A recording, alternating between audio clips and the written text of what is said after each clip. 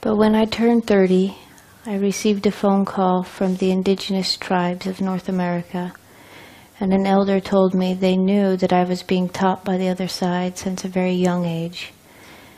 And they told me it was time for me to become the one to be called little grandmother. And I was told to go to Switzerland, that the people needed to hear the message.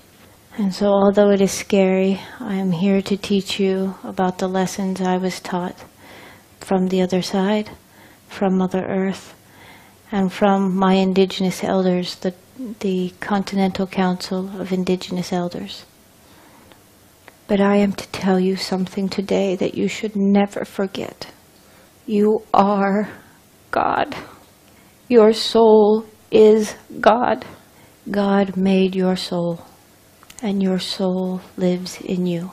You are God. And so there are no mistakes and there is no sin. You are here to learn. Earth life is a school. And I was learning lessons from the other side. A voice would teach me very specifically things that I needed to learn so that one day I would be able to teach these things. God made your soul, and your soul lives in you. You are God. God is not a man, and God is not a woman.